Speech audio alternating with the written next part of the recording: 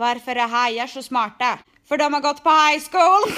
Vad kallas en skilsmässa i Göteborg då? Päronsplitt! Vilket djur är den sämsta föraren? Krokodillen! Du, vilken utbildning har flest håltimmar då? Tandläkarlinjen kanske? Varför tror du att golfaren har med sig två par byxor när han golfar? Ifall han skulle få hole in one. Vet du varför fransmännen äter sniglar? Och de gillar inte snabbmat. Det där måste du höra! Det där måste du höra! Okej, okej.